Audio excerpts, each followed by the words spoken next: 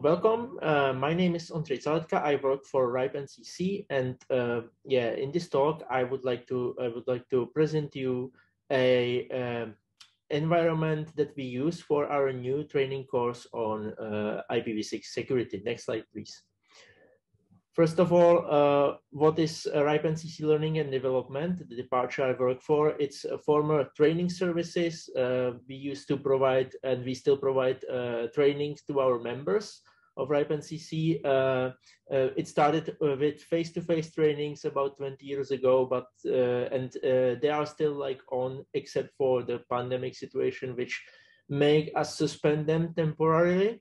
Uh, but we also do webinars. We did them even before it was cool with pandemic, uh, where webinars are always live, delivered by uh, people speaking like me, uh, myself, uh, or remotely, and have some interactivity with our with our participants. And what we also launched in 2014 was RIPE NCC Academy, which is basically e-learning platform where people can learn uh, some uh, some of our curriculum uh, on their own pace, on their own computer, without any in direct interactivity with trainers. And uh, for this, uh, the newest addition to our portfolio is actually a program called Certified Professionals, where if you get some knowledge, you can actually prove that you have that knowledge by uh, getting certified, which means absolving an exam, of about 50 questions in a controlled environment. We use some, something called remote proctoring, where you actually have to prove your ID in front of your web camera, and then you are observed by online proctor uh, over webcam. So you cannot cheat, and it has to be you who is making the test. And therefore, the badge that you can uh, you can earn, like the one on the slide, uh, is actually like uh, recognized that that that is really you who has the knowledge that we prove. Next slide, please.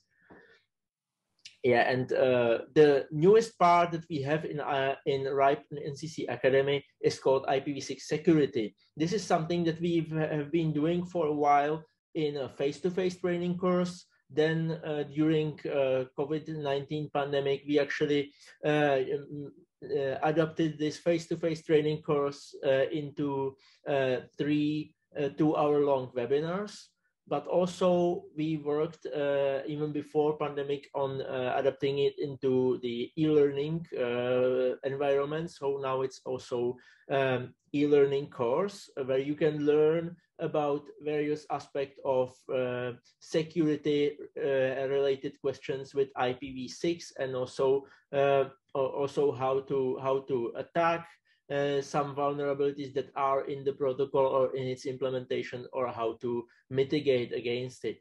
Uh, and for this uh, e-learning, there is this new thing, which is which is the which is the lab. Uh, we used to have a similar lab for face-to-face training. Actually, we still we still do have it, but we don't don't, do face-to-face trainings.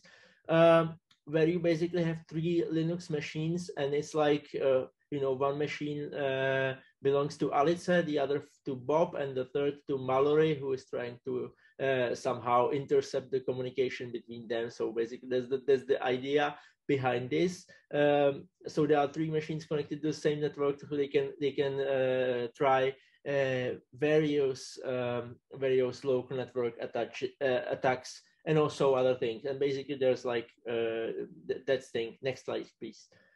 Um, so uh, the, the idea was how to deliver this uh, how to deliver this environment for the e-learning because for the face-to-face training we actually are running these virtual machines in our own on-premise uh, hardware.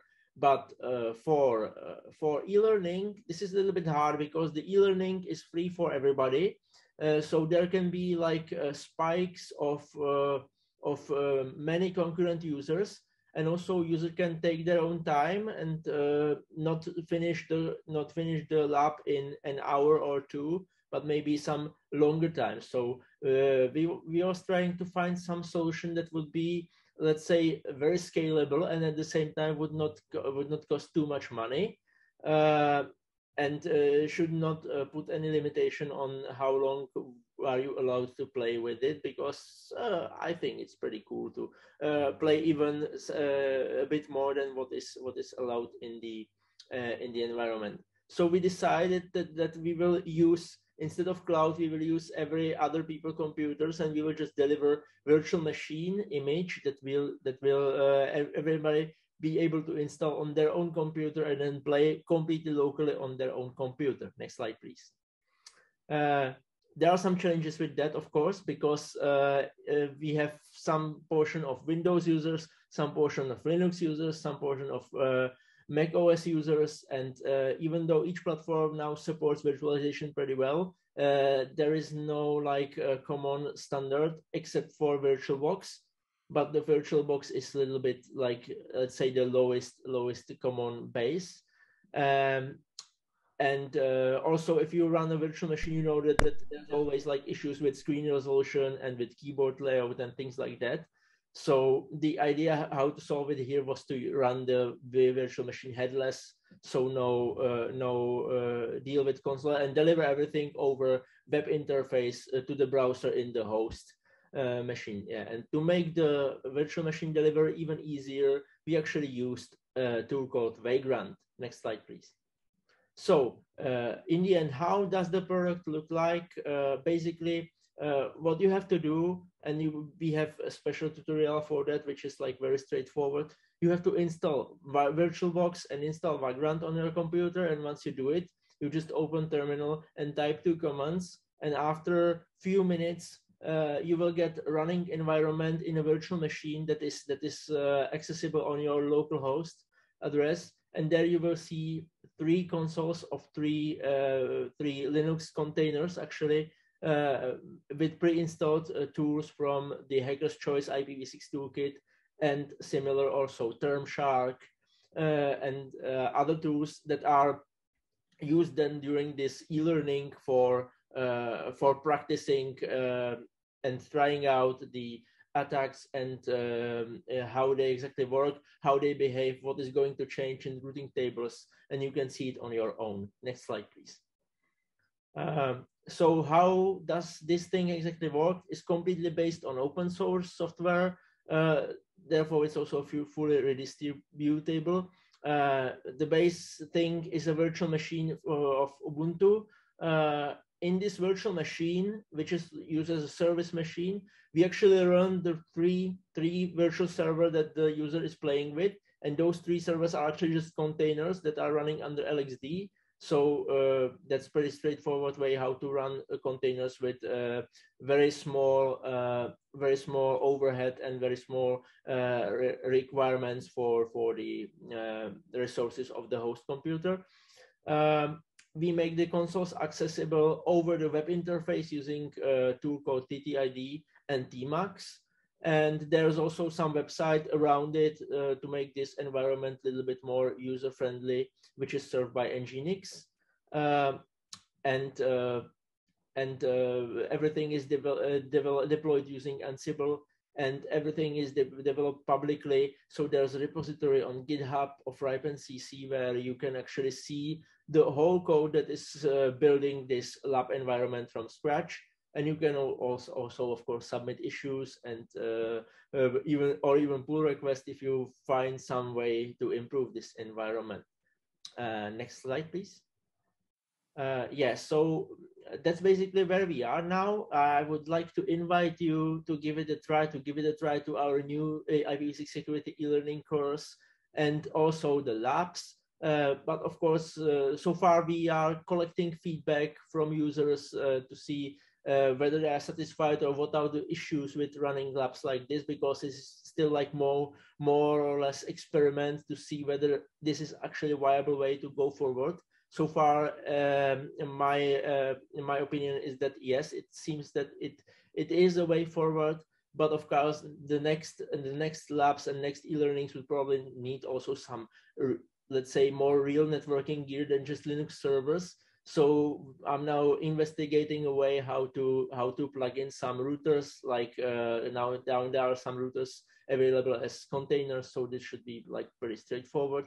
Uh, but of course, the other thing is if we want to have it uh, distributable like this, then the license agreements can be against us because if something is just free for use, it doesn't necessarily mean that it's also free to redistribute. Next slide, please.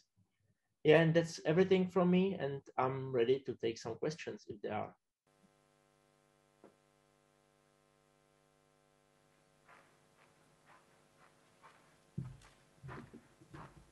Thank you, Andre.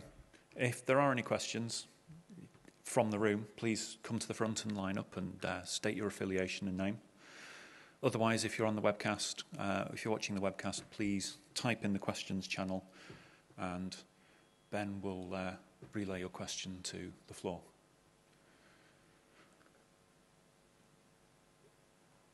Do we have any questions for Andre from in the room? And we'll just leave it a little longer for the lag of the webcast.